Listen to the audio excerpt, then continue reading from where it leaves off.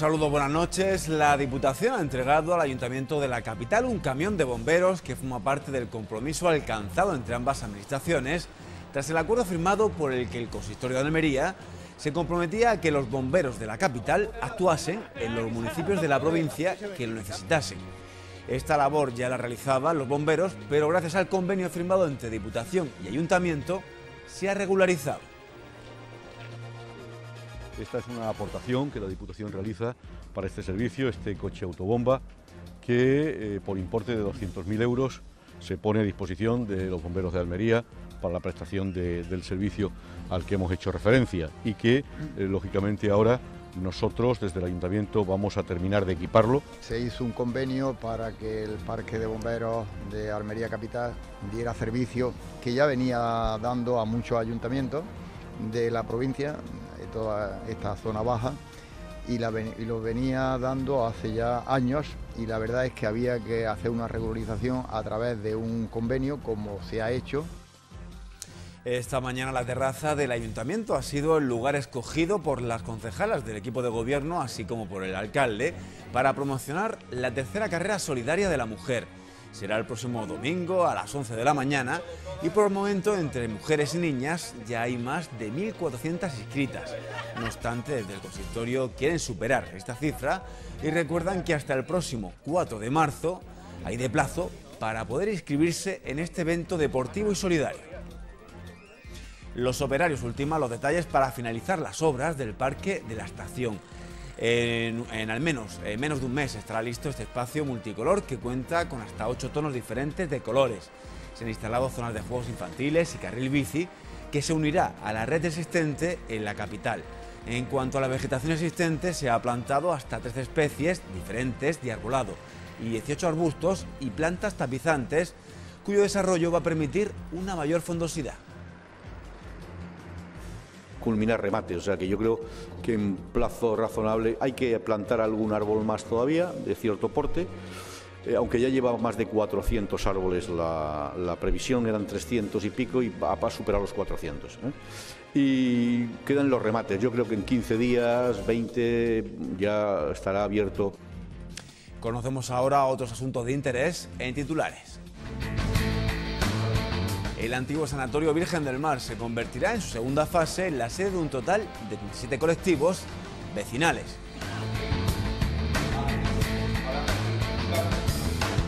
La zona marítima se denominará a partir de ahora Aguas de Baleares, una denominación que quedará reflejada en el etiquetado del pescado almeriense. La octava edición de la Ruta de las Tapas se va a celebrar del 4 de marzo al 22 de mayo. Participarán 63 establecimientos con 5 rutas diferentes.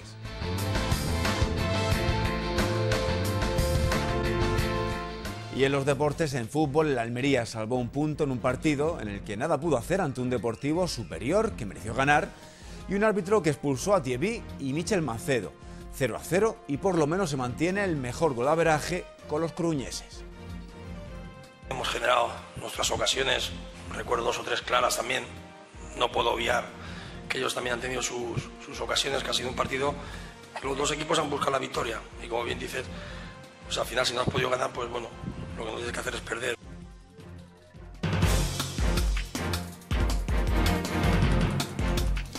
Diputación pone a disposición del Parque de Bomberos de la capital un camión autobomba. Se trata de uno de los aspectos que recoge el convenio firmado por ambas administraciones y en el que la institución provincial va a aportar además 900.000 euros.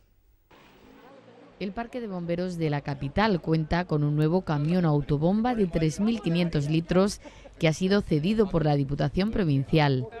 Se trata de un nuevo vehículo que ha supuesto una inversión de más de 200.000 euros. Este es uno de los puntos acordados en el convenio firmado entre el Ayuntamiento y la institución provincial para dar cobertura a aquellos municipios que no cuentan con un servicio de extinción de incendios propio. El consistorio de la capital será el encargado de equipar y dotar a este camión que mejorará las condiciones y las actuaciones que tengan que realizar próximamente. Esta es una aportación que la Diputación realiza para este servicio, este coche autobomba que eh, por importe de 200.000 euros se pone a disposición de los bomberos de Almería para la prestación del servicio al que hemos hecho referencia y que, eh, lógicamente, ahora nosotros desde el ayuntamiento vamos a terminar de equiparlo con todo aquello que es necesario para el correcto funcionamiento y la mejor prestación del servicio del mismo. Y la verdad es que había que hacer una regularización a través de un convenio como se ha hecho y ahora la Diputación ha aportado unas cantidades económicas más este camión 230 y tantas, como ha dicho el alcalde. Y efectivamente creo que es lo que se tenía que haber hecho hace ya varios años. Un convenio que recoge además de este camión una aportación por parte de la Diputación de 900.000 euros que permitirán la instalación de un retén en el municipio de Canjayar y financiar los gastos que suponen para el consistorio las salidas a otros municipios. El edificio del antiguo sanatorio de la Virgen del Mar en la capital estará terminado después del verano. Ya se ha culminado la primera fase y se espera que en septiembre u octubre esté lista la segunda. El alcalde de la ciudad se ha reunido esta mañana con las asociaciones que se van a instalar en este inmueble. En total serán 37 y de esta forma responden a una demanda de este colectivo que necesitaba una ubicación que no supusiese ningún tipo de coste. El alcalde ha recordado que su primera propuesta fue el edificio del 18 de julio, pero la negativa de la Junta provocó e hizo factible esta opción. Fue en principio, teníamos la idea de utilizar el 18 de julio, el viejo solar del 18 de julio para ello, pero al final pues con la Junta de Andalucía no ha habido acuerdo. Por tanto, queríamos cumplir ese compromiso que teníamos y vamos a aprovechar el edificio de la Plaza de la Virgen del Mar para hacerlo. Son 37 las asociaciones de Almería Capital que de una manera u otra van a utilizar ese espacio, algunos eh, con una sede definitiva, otros con eh, utilización de los espacios comunes o alguno de eh, las instalaciones que están, que están preparadas y previstas en la segunda fase de rehabilitación del edificio. Va a ser importante para nosotros como asociación de niños para tener un espacio donde mm, eh, impartir terapia y donde mm, eh, no tener que pagar un alquiler que llevamos tantísimos años esperando y sobre todo por la repercusión social que va a tener, que vamos a tener relación todas las asociaciones, vamos a tener un centro donde mm, hacer cosas en común. En un plazo de 20 días finalizarán las obras del futuro Parque de la Estación, un espacio que no solo va a mejorar la conectividad de la ciudad, sino que también se convertirá en un punto de encuentro para los almerienses con zonas verdes, juegos infantiles y carril bici. Hasta ocho tonos diferentes de colores tiene el pavimento que conforman las zonas de tránsito y paso que se distribuyen sobre la superficie del Parque de la Estación un espacio con el que el ayuntamiento espera generar continuidad entre las dos partes de la capital una vez eliminados los muros. El alcalde de la ciudad, Luis Rogelio Rodríguez, ha destacado la importancia de esta actuación municipal que se espera finalice en menos de un mes. Un proyecto que contempla un mirador presidiendo la confluencia con el cable inglés, zonas de juegos infantiles a lo largo de todo el parque y una red ciclista que se sumará a la que ya se está configurando a lo largo de toda la ciudad. Nos queda ya culminar remate, o sea que yo creo que en plazo razonable hay que plantar algún árbol más todavía, de cierto porte. Eh, aunque ya lleva más de 400 árboles, la, previsión eran 300 y pico y va a superar los 400. ¿eh?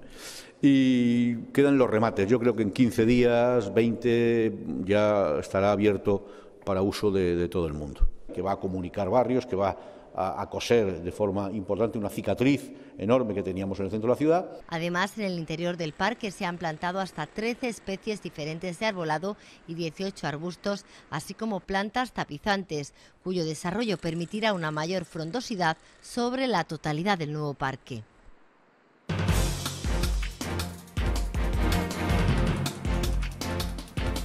Hablamos de política. La última encuesta sobre las elecciones autonómicas del 22 de marzo deja claro que gobernar en mayoría en Andalucía va a ser muy complejo. PSOE y BP pierden votos y los socialistas tendrían que pactar para gobernar.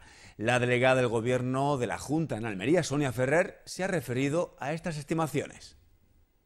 Eh, de aquí al 22 de marzo nos vamos a encontrar con muchos tipos de encuestas elaborado por distintos organismos, por distintas empresas. Y, el resultado, bueno, pues si nos conviene, diremos que son reales y si no nos conviene, no. Eh, yo lo que le quiero decir es que mm, la mejor encuesta, eh, el trabajo diario que realizamos de la Junta de Andalucía, el contacto con las personas, el estar oyéndoles y el estar solucionando los problemas día a día. Esa es la, la encuesta verdadera y esa es la que espero que se refleje el día 22 de marzo. Por su parte, el presidente del PP en Almería ha asegurado que ellos cuentan con sus propias encuestas y que el día 22 de marzo se sabrá a quiénes han apoyado los almerienses. Por lo tanto, ni estaba bebido ni estaban soñando. Y el día 24 de marzo veremos a ver dónde está la confianza de los ciudadanos de Almería, ¿eh? dónde está, si está en, un partido o está en otro. Nosotros hacemos y decimos lo que creemos ¿eh? que tenemos que decir y lo que tenemos en la última encuesta que el Partido Popular tiene.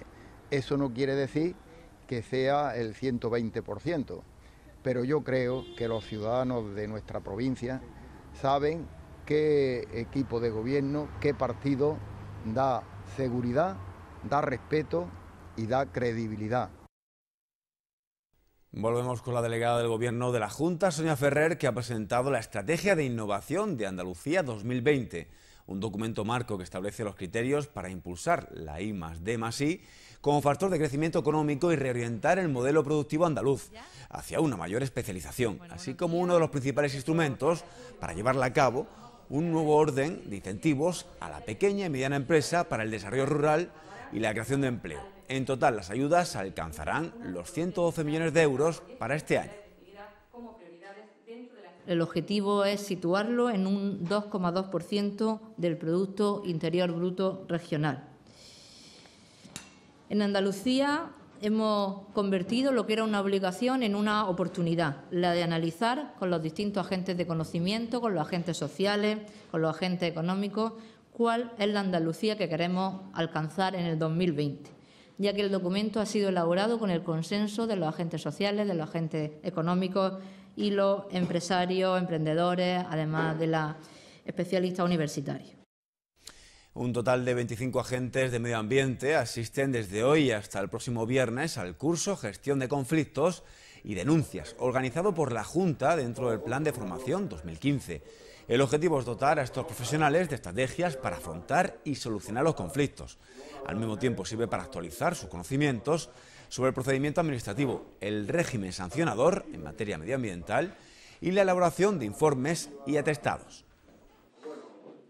Se va a hablar de gestión de conflictos, del tema de informes, de sanciones. Es algo por lo que quizá desde la delegación y de la consejería pues intentamos que las actuaciones, que sobre todo los agentes son la imagen de, las delegaciones en el territorio, son el primer contacto con el ciudadano, ¿no? Y en ese aspecto, pues yo creo que el tema de conflicto lo tenemos que intentar, pues bueno, sobre todo con mucho diálogo y mucha información, ¿no? Más que ser meramente pasar a, ser sancionadores puro y duro.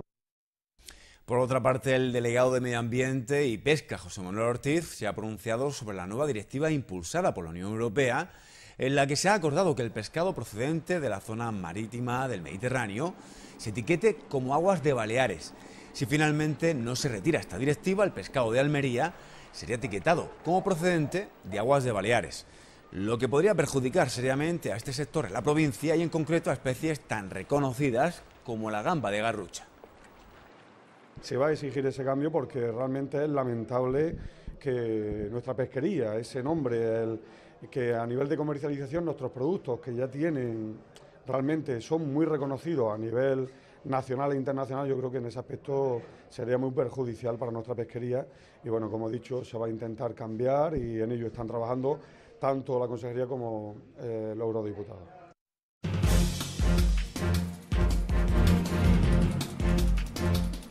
Y en unos segundos les contamos cómo le fue a Torres Jerez, que el sábado se encerró con seis toros en la plaza de la avenida de Vilches. El torero almeriense protagonizó una tarde inolvidable, dando muestra de su gran variedad de repertorio. El resultado final denota seis orejas y la salida a hombros, como están viendo, del coso almeriense. Y hablando de triunfadores del fin de semana, disfrutaremos con la música de Vanessa Martín. la malagueña presentó el maestro Padilla su último trabajo, Crónica de un baile, su cuarto disco. Martín durante más de dos horas se mostró muy cercana al público almeriense y sin duda presentó esa voz diferente que no deja de sorprender.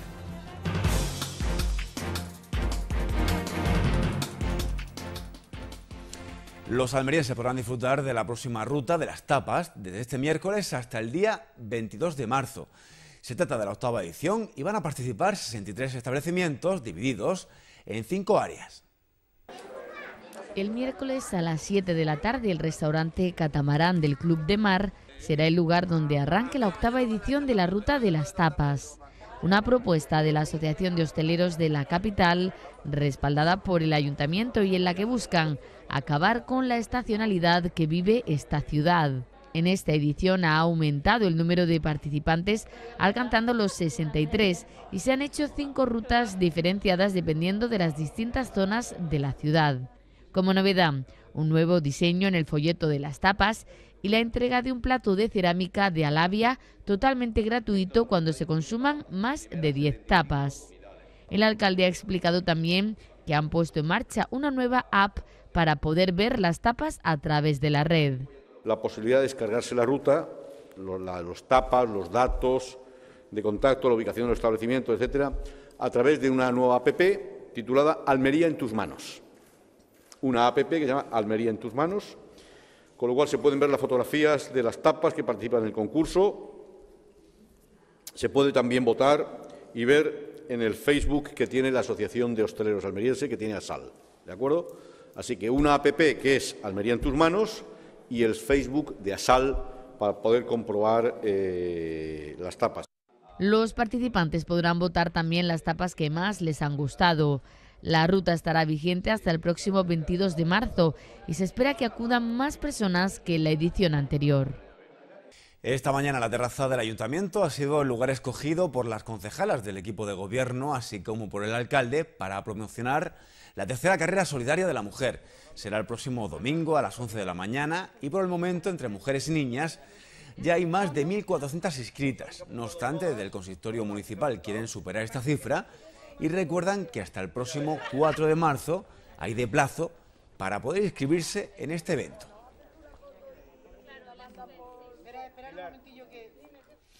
Expertos en historia contemporánea se van a reunir en Almería a partir del próximo miércoles para analizar en profundidad lo sucedido en Andalucía Oriental durante la Guerra Civil. Se trata del cuarto encuentro de testimonios organizado por el Instituto de Educación Secundaria Carmen de Burgos de Huércal de Almería en estrecha colaboración con la Universidad de Almería y la Diputación Provincial. Proyecciones de documentales, conferencias y charlas para ahondar en los entresijos de este conflicto fratricida, que además, como bien, saben ustedes, dividió a España. En este caso, lo que pretende el Instituto no solamente es informar sobre datos, sobre el papel que, jugó Almería pues, en toda la guerra, eh, además, en este caso, en este año, lo que pretenden ellos es el, Andalucía eh, oriental, pues la importancia que tuvo la desbandada de Málaga, y bueno, el, Jaén y Granada también, qué papel jugaron. Y entonces, bueno, aparte de ser didáctico, por supuesto, y informativo, pues yo creo que la importancia es esa, ¿no? La, posibilidad de que a través de los testimonios de, primera persona y a través de, los, de historiadores y de personas doctores en el tema, eh, que lo traen de muchos puntos de España, los propios alumnos puedan generarse pues una opinión y una idea que no, que no venga ya preconcebida, pues que siempre es muy interesante para su futuro personal y profesional. El torero almeriense Torres Jerez protagonizó una tarde triunfal en el encierro con seis toros de distintas ganaderías que mantuvo el pasado sábado con una asistencia de casi tres cuartos del aforo. Con esta gran estocada culminó la mejor faena de la tarde ante un toro cárdeno lidiado en tercer lugar que le valió el premio de dos orejas al matador y la vuelta al ruedo a este cinqueño con el hierro del ganadero Adolfo Martín, que estuvo presenciando la corrida. Esta fue la faena cumbre de una actuación global en la que el diestro almeriense dio muestra de la variedad de su repertorio y de su magnífica predisposición para intentar retomar lo mejor de su carrera para abrirse de nuevo una oportunidad en las ventas de Madrid gesta triunfal de Torre Jerez que redondeó su actuación con seis orejas y la salida a hombros por el portón de los triunfos del coso almeriense. Del 2 al 4 de abril, el Estadio Municipal Roquetero de los Bajos se convertirá en el epicentro del fútbol base con la celebración del torneo internacional infantil Roquetas de Mar Tierra de Fútbol. El formato del evento será el siguiente. Habrá ocho equipos de categoría infantil, el conjunto local más siete pertenecientes a equipos de primera división, entre los que destaca el Atlético de Madrid o el Valencia, también el Almería, por supuesto. Habrá además un representante de Irlanda del Norte, el Maiden City. Se configurarán dos grupos de cuatro equipos clasificándose los dos mejores. Una oportunidad para fomentar el deporte y las excelencias turísticas del municipio roquetero. Y gracias al torneo pues vienen, conocen nuestra provincia y van a conocer el municipio de Roqueta. Y lo que tenemos que intentar entre todos es que esas personas que vengan, tanto los niños como los padres que vienen acompañándolos, que lo pasen lo mejor posible y demostrarles una vez más porque eso no cuesta mucho trabajo para los hombres y mujeres de Roquetas, porque tenemos esa condición de que nadie en el municipio de Roquetas se siente extraño.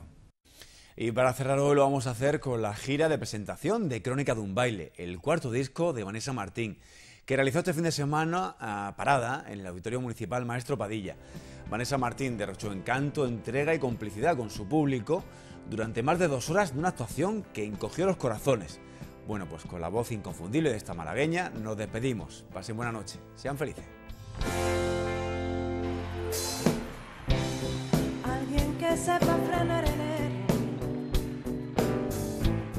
Alguien que sepa que viene.